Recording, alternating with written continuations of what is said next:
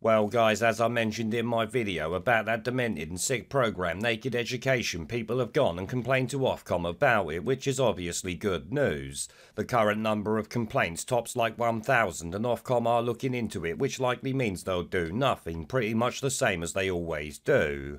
Of course, Channel 4 is still defending this degenerate tripe that would be illegal if done elsewhere, so how it's okay for TV channels is beyond me, but they are with another episode coming out last night. That one there, I expect, will also get complaints, which will then give Ofcom another chance to do nothing about it, despite, as far as I know, it breaking the law. Yes, Channel 4 say they have parental consent and all of this, but I never knew parents could give consent for adults to get naked in front of their kids, and certainly not on TV. I always assumed that doing shit like that would see police and social services at your door ready to arrest you and put your kids in care, but apparently for TV it's all good. You can't smack your child to discipline them, but you can show them some dude's airy todger for a TV show, it seems.